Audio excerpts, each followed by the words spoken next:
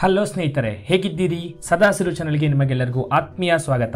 ಇವತ್ತಿನ ವಿಡಿಯೋದಲ್ಲಿ ನಾವು ಈ ಪ್ರೀವಿಯಸ್ ವಿಡಿಯೋದಲ್ಲಿ ಹೇಗೆ ಎಕ್ಸಸೈಸ್ ಮಾಡಿದ್ವೋ ಅದೇ ರೀತಿ ವಿಡಿಯೋನ ಕಂಟಿನ್ಯೂ ಮಾಡೋಣ ಸ್ನೇಹಿತರೆ. ಇವತ್ತು ಒಂದಷ್ಟು ಸ್ಪೋಕನ್ ಇಂಗ್ಲೀಷ್ ಸೆಂಟೆನ್ಸಸ್ ಸಿಚುವೇಶನ್ ತಗೊಂಡು ಸ್ಪೋಕನ್ ಇಂಗ್ಲೀಷ್ ಸೆಂಟೆನ್ಸಸ್ ಇಂಗ್ಲೀಷಲ್ಲಿ ಕಲಿಯೋಣ.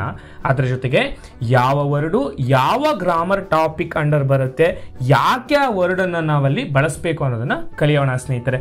Just in case if you have not watch the previous video i recommend you watch the previous video. I am giving the link of the previous video in the description down below. But before that make sure to watch this video completely. ಈ ವಿಡಿಯೋನ full ನೋಡಿ. ಯಾಕೆ ಅಂತ ಹೇಳಿದ್ರೆ ನಿಮಗೆ complete understanding ಬರುತ್ತೆ ಸ್ನೇಹಿತರೆ. ಆ ಗ್ಯಾರಂಟಿ ನಾನು ಕೊಡ್ತೇನೆ. So without wasting any for the time let start the video ನೀವು ಲಾಸ್ಟ್ ವಿಡಿಯೋ ನೋಡಿದ್ರೆ ನಿಮಗೆ ಗೊತ್ತಿರುತ್ತೆ ಸಿಚುವೇಶನ್ ಒಂದು ಡೈಲಾಗನ್ನು ತಗೊಳ್ಳೋಣ. ಒಂದು ಸಿಚುವೇಶನ್ನ ಇಮ್ಯಾಜಿನೇಷನ್ ಮಾಡಿಕೊಂಡು, ಅಲ್ಲಿ ಒಂದು ಡೈಲಾಗನ್ನು ತಗೊಳ್ಳೋಣ. ಅದನ್ನು ಫಸ್ಟು ಕನ್ನಡದಲ್ಲಿ ಬರೆಯೋಣ. ಅದಾದಮೇಲೆ ಅದನ್ನು ಇಂಗ್ಲೀಷ್ನಲ್ಲಿ ಹೇಳೋಣ. ಪ್ಲಸ್ ಅಲ್ಲಿರುವಂತಹ ಪಾರ್ಟ್ಸ್ ಆಫ್ ಸ್ಪೀಚ್ ಇರ್ಬೋದು ಅಥವಾ ಗ್ರಾಮರ್ ಟಾಪಿಕ್ ಇರ್ಬೋದು, ಯಾವ ಗ್ರಾಮರ್ ಟಾಪಿಕ್ಗೆ ಆ ವರ್ಡ್ಗಳು ಬಿಲಾಂಗ್ ಆಗುತ್ತೆ ಅನ್ನೋದನ್ನು ಕಲಿಯೋಣ. ಸೊ ಮೀನಿಂಗ್ಫುಲ್ ಆಗಿ ಸೆಂಟೆನ್ಸ್ ಅನ್ನು ಕನ್ಸ್ಟ್ರಕ್ಷನ್ ಮಾಡೋ ಐಡಿಯಾ ನಿಮಗೆ ಬರುತ್ತೆ ಸ್ನೇಹಿತರೆ. ಸೊ ಆ ಡೆಫಿನೇಷನ್ ಪರ್ಟಿಕ್ಯುಲರ್ ಗ್ರಾಮರ್ ಟಾಪಿಕ್ದು ಡೆಫಿನೇಷನ್ ಏನು ಕಲಿಯೋಣ. ಪ್ಲಸ್ ಎಲ್ಲಿ ಆ ಗ್ರಾಮರ್ ಟಾಪಿಕ್ ಅನ್ನು ಬಳಸಬೇಕು, ಎಲ್ಲೆಲ್ಲಿ ಬಳಸಬಹುದು ಅನ್ನೋದನ್ನ ಕಲಿತಾ ಹೋಗೋಣ ಸ್ನೇಹಿತರೆ. ಇದೆಲ್ಲಕ್ಕಿಂತ ಮುಖ್ಯವಾಗಿ ಸ್ನೇಹಿತರೆ, ಈಗಾಗಲೇ ಹೈ ಕ್ವಾಲಿಟಿ ವಿಡಿಯೋಸ್ ಅದು ಗ್ರಾಮರ್ ರಿಲೇಟೆಡ್ ಇರ್ಬೋದು ಅಥವಾ ಸ್ಪೋಕನ್ ಇಂಗ್ಲಿಷ್ ರಿಲೇಟೆಡ್ ಇರ್ಬೋದು. ಕನ್ನಡದಲ್ಲಿ ಎಕ್ಸ್ಪ್ಲೇನ್ ಮಾಡಿರುವಂತಹ ವಿಡಿಯೋಸ್ಗಳು ನಮ್ಮ ಚಾನಲಲ್ಲಿ ಲಭ್ಯ ಇದೆ. ನಮ್ಮ ಚಾನಲ್ಗೆ ಫಸ್ಟ್ ಆಫ್ ಆಲ್ ಸಬ್ಸ್ಕ್ರೈಬ್ ಮಾಡೋಕೆ ಫ್ರೀ ಫ್ರೀ ಕಾಸ್ಟ್ ಅಂತ ಹೇಳಿದ್ರೆ ಫ್ರೀ ಆಫ್ ಕಾಸ್ಟ್ ನೀವೇನು ಅಮೌಂಟ್ ಪೇ ಮಾಡಬೇಕಾಗಿಲ್ಲ. ಪ್ಲಸ್ ನೀವು ಸಬ್ಸ್ಕ್ರೈಬ್ ಮಾಡಿದ ಪಕ್ಕದಲ್ಲೇ ಒಂದು ನೋಟಿಫಿಕೇಶನ್ ಐಕನ್ ಅಥವಾ ಒಂದು ಬೆಲ್ ಐಕನ್ ಬರುತ್ತೆ, ಅದನ್ನು ಕ್ಲಿಕ್ ಮಾಡಿ ರಿಸೀವ್ ಆಲ್ ನೋಟಿಫಿಕೇಶನ್ ಅಂತ ಸೆಟ್ಟಿಂಗ್ ಸೆಲೆಕ್ಟ್ ಮಾಡ್ಕೊಂಡ್ಬಿಟ್ರೆ ಒಂದು ವಿಡಿಯೋನ ನಮ್ಮ ಚಾನಲ್ ಅಪ್ಲೋಡ್ ಮಾಡುವಂಥ ವಿಡಿಯೋನ ನೀವು ಮಿಸ್ ಮಾಡ್ಕೊಳ್ಳಲ್ಲ ಸ್ನೇಹಿತರೆ. ಸೊ ಹಾಗಿದ್ರೆ ಬನ್ನಿ, ಇವತ್ತಿನ ವಿಡಿಯೋನ ಸ್ಟಾರ್ಟ್ ಮಾಡೋಣ. ಸೊ ನಾನು ಪ್ರತಿನಿತ್ಯ ಎರಡು ಬಾರಿ ಅಲ್ಲುಡ್ತೇನೆ ಸೊ ಯೂಶಲಿ ಈ ರೀತಿ ಮಾತಾಡ್ತೀವಲ್ವ? ನಾನು ಪ್ರತಿನಿತ್ಯ ಎಷ್ಟು ಸಲ ಅಲ್ಲುಡ್ತೀಯ? ನನ್ನ ಹಲ್ಲನ್ನು ಸೇಫ್ಟಿಗೋಸ್ಕರ ರೈಟ್ ಸೊ ಒಂದು ಹೆಲ್ತಿನೆಸ್ನ ಮೇಂಟೈನ್ ಮಾಡ್ಕೊಳ್ಳೋಕ್ಕೋಸ್ಕರ ನಾನು ಏನು ಮಾಡ್ತೀನಿ ಪ್ರತಿನಿತ್ಯ ಎರಡು ಸಲ ಅಲ್ಲುಡ್ತೀನಿ ಅಂತ ಹೇಳ್ತೀವಿ. ಹೌದಲ್ವಾ? ಸೊ ನಾನು ಇಂಗ್ಲೀಷಲ್ಲಿ ಹೇಗೆ ಹೇಳ್ಬೋದು? I brush my teeth twice every day I brush my teeth twice every day so ಇಲ್ಲಿ ಒಂದಷ್ಟು ಗ್ರಾಮರ್ ಟಾಪಿಕ್ಗಳು ಆಡ್ಕೊಂಡಿದ್ದಾವೆ ಈ ವರ್ಡ್ಸ್ಗಳೆಲ್ಲ ನಾವು ನೋಡ್ತಾ ಅಂತ ಹೇಳಿದ್ರೆ ಪ್ರತಿಯೊಂದೊಂದು ವರ್ಡ್ಸ್ನ ಒಂದೊಂದು ಗ್ರಾಮರ್ ಟಾಪಿಕ್ಗೆ ಹಾಕ್ಬೋದು. ಸೊ ದಟ್ ನಮಗೆ ಆ ಮೀನಿಂಗ್ ಗೊತ್ತಾಗುತ್ತೆ. Why are we using certain words at that place ಆ ಪ್ಲೇಸಲ್ಲಿ ಅದೇ ವರ್ಡನ್ನು ಯಾಕೆ ಬಳಸ್ತಾ ಇದ್ದೀವಿ? ಅದಲ್ವಾ? ಸೊ ಮೀನಿಂಗ್ ನಮಗೆ ಗೊತ್ತಾಗತ್ತೆ. ನೋಡಿ ಇಲ್ಲಿ ಫಸ್ಟ್ ಫಸ್ಟ್ ಥಿಂಗ್ಸ್ ಫಸ್ಟ್ ಈ ಐ ಅನ್ನೋದು ಒಂದು ವರ್ಡ್ ಹೌದಲ್ವಾ? ಇಂಗ್ಲೀಷ್ನಲ್ಲಿ ಎರಡು ವರ್ಡ್ಸ್ಗಳಿದೆ ಅಂಥ ವರ್ಡ್ಸ್ಗಳಿಗೆ ಒಂದೇ ಒಂದು ಲೆಟರ್ ಇದೆ. ಅಂಥ ವರ್ಡ್ಸ್ಗಳು ಯಾವ್ಯಾವಪ್ಪ ಅಂತ ಹೇಳಿದ್ರೆ ಐ ಮತ್ತು ಎ ಸೊ ಇಲ್ಲಿ ಐ ಅನ್ನೋದು ಒಂದು ವರ್ಡ್ ಇದು, ಅಲ್ವಾ? ವರ್ಡ್ ಹೌದು ಒಂದು ಲೆಟರ್ ಹೌದು ಸೊ ಐ ಅನ್ನೋದು ಏನಾಯಿತು? ಪರ್ಸನಲ್ ಪ್ರೊನೌನ್ ಆಯಿತು. ಪರ್ಸನಲ್ ನಮ್ಮ ಬಗ್ಗೆ ಮಾತಾಡೋ ಸಂದರ್ಭದಲ್ಲಿ ನಾವು ಬಳಸುವಂಥದ್ದು ಪ್ಲಸ್ ಇದನ್ನು ನಾವು ಫಸ್ಟ್ ಪರ್ಸನ್ ಸಿಂಗ್ಯುಲರ್ ಆಗಿ ಬಳಸುವಂಥದ್ದು. ಫಾರ್ ಎಕ್ಸಾಂಪಲ್ ನಾನು ನನ್ನ ಬಗ್ಗೆ ಮಾತಾಡಬೇಕಾದ್ರೆ ನಾನು ಐ ಅಂತ ಬಳಸ್ತೀನಿ. ಅಲ್ಲ ಫಸ್ಟ್ ಪರ್ಸನ್ ನಾನು. ರೈಟ್ ನಾವು ಫಸ್ಟ್ ಪರ್ಸನ್ ಪ್ಲೂ ನಾನು ಒಬ್ಬನೇ ಒಬ್ಬ ಇದ್ದೀನಿ. ಹಾಗಾಗಿ ಫಸ್ಟ್ ಪರ್ಸನ್ ಸಿಂಗ್ಯುಲರ್ ಅಂತ ಹೇಳಿದೆ. ಒಬ್ಬಕ್ಕಿಂತ ಜಾಸ್ತಿ ಇದ್ದು ಫಸ್ಟ್ ಪರ್ಸನ್ ಬಗ್ಗೆನೇ ಮಾತಾಡಬೇಕು ಅಂತ ಹೇಳಿದರೆ ಫಸ್ಟ್ ಪರ್ಸನ್ ಪ್ಲೂರಲ್ ಆಗುತ್ತೆ. ಫಸ್ಟ್ ಪರ್ಸನ್ ಪ್ಲೂರಲ್ ಯಾವುದಪ್ಪ ಅಂತ ಹೇಳಿದರೆ ವಿ. ಅದು ನಾವು. ಅಲ್ವಾ? ನೆಕ್ಸ್ಟ್ ಇಲ್ಲಿ ಬ್ರಷ್ ಬ್ರಷ್ ಅನ್ನೋದೇನಾಯಿತು ವರ್ಬ್ ಆಯಿತು. ಅದು ಅದೇನಿದೆ? ಪ್ರೆಸೆಂಟ್ ಟೆನ್ಸಲ್ಲಿದೆ ಈಗ ಆಗಿರುವಂತಹ ಅಥವಾ ಪ್ರೆಸೆಂಟ್ ಅದನ್ನು ನಾನು ಪಾಸ್ಟ್ ಬಗ್ಗೆ ಮಾತಾಡ್ತಿಲ್ಲ. ನಾನು ಇದನ್ನು ಎವ್ರಿ ಸಿಂಗಲ್ ಡೇ ಮಾಡ್ತೀನಿ. ಹಾಗಾಗಿ ನಾನು ಇದನ್ನು ಸಿಂಪಲ್ ಪ್ರೆಸೆಂಟ್ ಟೆನ್ಸ್ ಅಂತ ಟೆನ್ಸ್ ಬರುತ್ತೆ. ಅದರಲ್ಲಿ ಈ ಸೆಂಟೆನ್ಸನ್ನು ನಾನು ಸ್ಟ್ರಕ್ಚರ್ ಮಾಡಿದ್ದೀನಿ ಅಥವಾ ಫ್ರೇಮ್ ಮಾಡಿದ್ದೇನೆ. ನೆಕ್ಸ್ಟ್ ಮೈ ಮೈ ಅನ್ನೋದು ನೋಡಿ ಶುರುವಾಗಿದೆ. ಪೊಸೆಸಿವ್ ಪ್ರೊನೌನ್ ಅಂತ ಹೇಳಿ. ಫಸ್ಟು ಐ ಅನ್ನೋದೇನಾಯಿತು ಪರ್ಸನಲ್ ಪ್ರೊನೌನ್ ಆಯಿತು. ಮೈ ಅನ್ನೋದೇನಾಯಿತು? ಪೊಸೆಸಿವ್ ಪ್ರೊನೌನ್ ಆಯಿತು ಏನಾದರೂ ಒಂದು ವಸ್ತು ಇರ್ಬೋದು ಅಥವಾ ಯಾವುದೋ ಒಂದು ಪರ್ಟಿಕ್ಯುಲರ್ ವಿಚಾರ ಇರ್ಬೋದು. ನನಗೆ ಬಿಲಾಂಗ್ ಆಗುತ್ತೆ ಅಂತ ಹೇಳಬೇಕಾದ್ರೆ ಅಥವಾ ಯಾವುದೋ ಒಂದು ವ್ಯಕ್ತಿಗೆ ಬಿಲಾಂಗ್ ಆಗುತ್ತೆ ಅಂತ ಹೇಳಬೇಕಾದ್ರೆ ಈ ಪೊಸೆಸಿವ್ ಪ್ರೊನೌನ್ಸ್ನ ಬಳಸ್ತೀವಿ. ಈಗ ಇಲ್ಲಿ ಫಸ್ಟ್ ಪರ್ಸನ್ ಇರೋದ್ರಿಂದ ಫಸ್ಟ್ ಸೆಂಟೆನ್ಸ್ ನೋಡಿ ಫಸ್ಟ್ ವರ್ಡ್ ನೋಡಿ ಇಲ್ಲಿ. Personal pronoun first person singular ಬಳಸ್ತಿದ್ದೀನಿ. ಹಾಗಾಗಿ ಇಲ್ಲಿ ಪೊಸೆಸಿವ್ ಪ್ರೊನೌನನ್ನೂ ಸಹ ನಾನೇನು ಮಾಡ್ತಿದ್ದೀನಿ ಫಸ್ಟ್ ಪರ್ಸನಿಗೆ ರಿಲೇಟೆಡ್ ಆಗಿರುವಂಥದ್ದನ್ನೇ ಬಳಸ್ತಾ ಇದ್ದೀನಿ ಇಲ್ಲಿ. ಮೈ ಅಂತ ಬಳಸಿದ್ದೀನಿ ಇಲ್ಲಿ ಹಿ ಅಂತ ಏನಾದ್ರು ನಾನು ಬಳಸಿದ್ರೆ ಹಿ ಬ್ರಷಸ್ ಹಿಸ್ ಟೀತ್ ಅಂತ ಆಗಿರ್ತಿತ್ತು. ಸೊ ಹಿಸ್ ಅನ್ನೋದೇನಾಯ್ತು ಅಲ್ಲಿ? ಪೊಸೆಸಿವ್ ಪ್ರೊನೌನ್ ಆಯಿತು. ಸೊ ಮೈ ಟೀತ್ ಯಾರ ಟೀತ್ ಬಗ್ಗೆ ಮಾತಾಡ್ತಿದ್ದೀನಿ ಪೊಸೆಸಿವ್ ಆಗಿ ಮಾತಾಡ್ತಿರೋವಂಥದ್ದು ನನಗೆ ಬಿಲಾಂಗ್ ಆಗುತ್ತದೋ ಅಂತ ನನಗೆ ಸೇರಿದ್ದು ಅಲ್ವಾ? ನನ್ನ ಟೀತ್ ಬಗ್ಗೆ ಮಾತಾಡ್ತಿದ್ದೀನಿ ಆ್ಯಂಡ್ ಮೈಂಡ್ ಯು ಟೀತ್ ಅನ್ನೋದೇನಾಯಿತು? ಪ್ಲೂರಲ್ ಆಯಿತು. ಹಲ್ಲುಗಳು ಅನ್ನೋ ರೀತಿನಲ್ಲಿ. ಟೂತ್ ಅಂತ ಹೇಳಿದ್ರೆ ಸಿಂಗಲ್ ಅಂತ ಅರ್ಥ ಮಾಡ್ಕೊಳ್ಳಿ. ಟೀತ್ ಅಂತ ಹೇಳಿದ್ರೆ ಮೋರ್ ದ್ಯಾನ್ ಒನ್, ಒಂದಕ್ಕಿಂತ ಜಾಸ್ತಿ ಇರೋದು ಅಂತ ಅರ್ಥ ಮಾಡ್ಕೊಳ್ಳಿ. ನೆಕ್ಸ್ಟ್ ಟೀತ್ ಅನ್ನೋದು ಒಂದು ಕಾಮನ್ ನೋನ್ ಆಗುತ್ತೆ. ಪರ್ಟಿಕ್ಯುಲರ್ಗೆ ಇಂಥದೇ ಟೀತ್ ಬಗ್ಗೆ ಇಂಥದೇ ಒಂದು ಹಲ್ಲಿನ ಬಗ್ಗೆ ನಾನು ಮಾತಾಡ್ತಾ ಇರಲಿಲ್ಲ. ಜನರಲ್ ಆಗಿ ಮಾತಾಡ್ತಿರೋದಾಗ ಇಲ್ಲಿ. ಕಾಮನ್ ನೋನ್ ಅಂತ ಹೇಳ್ಕೊಬೋದು ಅಥವಾ ಇದನ್ನ ಕೌಂಟೇಬಲ್ ನೌನ್ ಅಂತ ಕರಿಬೋದು.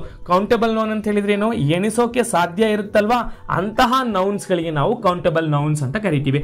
ಟ್ವೈಸ್ ಟ್ವೈಸ್ ಅನ್ನೋದೇನಾಯ್ತು ಇಲ್ಲಿ? ಅಡ್ವಬ್ ಆಫ್ ಫ್ರೀಕ್ವೆನ್ಸಿ ನೋಡಿ ಇಲ್ಲಿ I brush my teeth right so how frequently are you going to brush your teeth ನೀವು ಎಷ್ಟು ಸಲ, ಎಷ್ಟು ಬಾರಿ ನೀವು ನಿಮ್ಮ ಹಲ್ಲುಗಳನ್ನು ಉಜ್ತೀರಾ ಅನ್ನೋದನ್ನು ಹೇಳ್ತಾ ಇದ್ದೀರಾ ಅಲ್ಲಿ ಅಲ್ವಾ? ಸೊ ಅದಕ್ಕೆ ನಿಮಗೊಂದು ಅಡ್ವರ್ ಬೇಕು. ಅದು ಯಾವ ಅಡ್ವರ್ಬ್ ಅಂತ ಹೇಳಿದರೆ ಅಡ್ವರ್ಬ್ ಆಫ್ ಫ್ರೀಕ್ವೆನ್ಸಿ ಅಂತೇಳಿ.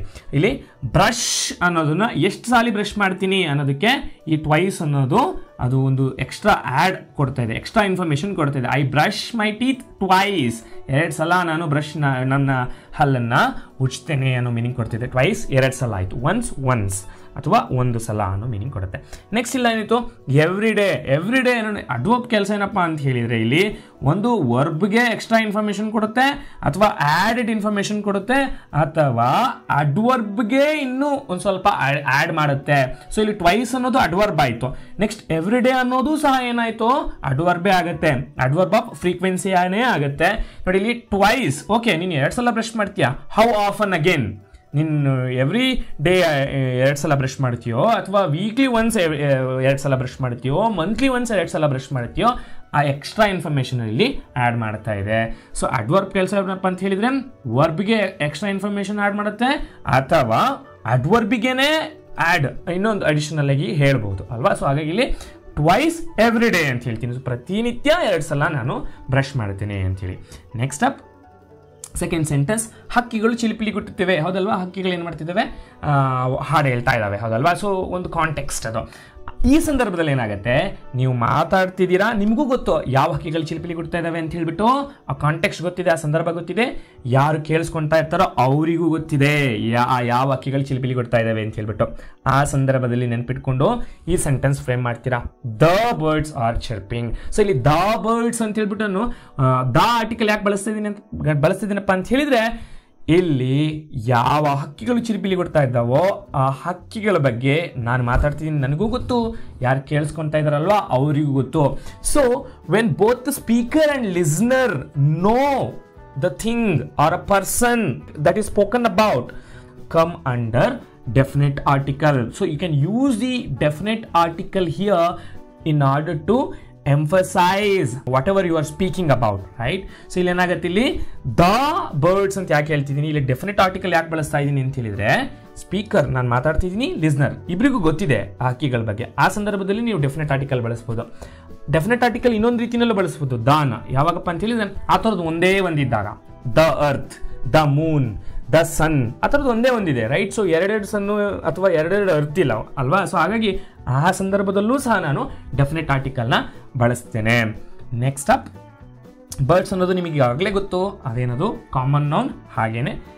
ಅದನ್ನ ನಾವು ಪ್ಲೂರಲ್ ನೌನ್ ಅಂತಾನು ಹೇಳ್ಕೊಬೋದು. ಯಾಕೆಂತ ಹೇಳಿದ್ರೆ ಬರ್ಡ್ ಅನ್ನೋದು ಸಿಂಗ್ಯುಲರ್ ನೌನು ಬರ್ಡ್ಸ್ ಅನ್ನೋದೇನಾಯ್ತು ಪ್ಲೂರಲ್ ನೌನು ಬರ್ಡ್ ಅಂತೂ ಒಂದೇ ಒಂದಿದ್ದಾಗ ಹೇಳ್ತೀನಿ. ಬರ್ಡ್ಸ್ ಅಂತ ಇದ್ದಾಗ ಒಂದಕ್ಕಿಂತ ಜಾಸ್ತಿ ಇದ್ದಾಗ ಹೇಳ್ತೀನಿ. ಸೊ ಇಲ್ಲಿ ಕಾಮನ್ ನೌನ್ ಯಾಕಪ್ಪ ಆಯ್ತು ಅಂತ ಹೇಳಿದ್ರೆ, ಇಲ್ಲಿ which bird are you speaking about ನೀನು ಪ್ಯಾರೆಟ್ ಬಗ್ಗೆ ಮಾತಾಡ್ತಿದ್ಯಾ? ಪಿಜನ್ ಬಗ್ಗೆ ಮಾತಾಡ್ತಿದ್ಯಾ? ಹೇಳ್ತಾ ಇಲ್ಲ ಇಲ್ಲಿ. ಬರ್ಡ್ಸ್ ಅಂತ ಕಾಮನ್ ಆಗಿ ಹೇಳ್ತಾ ಇದ್ದೀನಿ. ಹೌದಲ್ವಾ? ಸೊ ಹಾಗಾಗಿ ನಾನು ಹೇಳ್ತೀನಿ ಇದನ್ನ ಕಾಮನ್ ನೌನ್ ಕೆಟಗರಿಗೆ ಹಾಕ್ತೀನಿ.